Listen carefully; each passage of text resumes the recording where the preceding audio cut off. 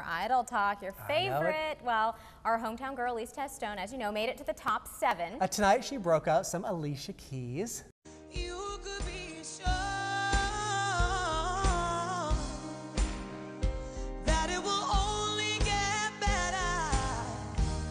Sounds good. The judges loved it. J-Lo even said it gave her goosebumpies. Oh, goosebumpies. well, then we hit a sad note, though, when Elise revealed she got some bad news from home. Her dog is sick and might not make it. Oh, that's sad. Yeah, hopefully someone also told her about some good news from home. Mm -hmm. Some local fans got together tonight to support her at the Elise watch party. That's right, and that party was at Beef O'Brady's in Carolina Forest. So let's head back out there to Amy Vitrano, where Amy, I'm told, has the inside scoop on our idol from someone who constantly talks with Elise, right, Amy?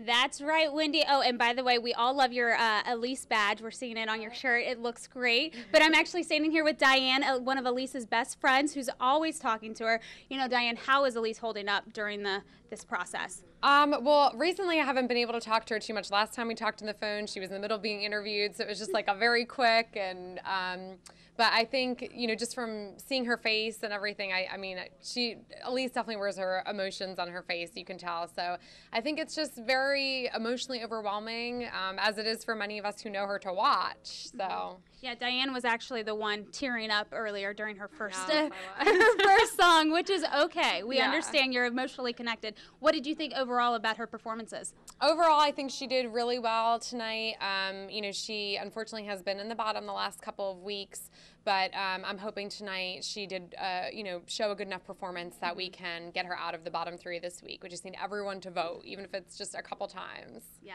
definitely. All votes count, so make sure to call, call Elise. We're still trying here yep. at the watch party. So, Diane, what about um, J Lo and uh, the Steve Stevens' uh, comments about her not showing enough emotion? Do you think you agree um, with that? I mean, I can understand kind of what they're saying, um, just because I know Elise personally, but um, I just hope that she's able to take that criticism and just use it in a constructive way, and, and hopefully do even better next time around. Right, definitely. Mm-hmm. So we are still here trying to vote for Elise and get her to that next round to be the top six, and you can too. Continue to vote online by texting, by calling. You could do so until midnight tonight. But we are, will continue watching Elise on Fox News at 10, and you guys can always get a recap. We'll break down what happens tomorrow on tomorrow's show at 10 o'clock. Uh, there's more Fox News at 10 coming at you right after the break.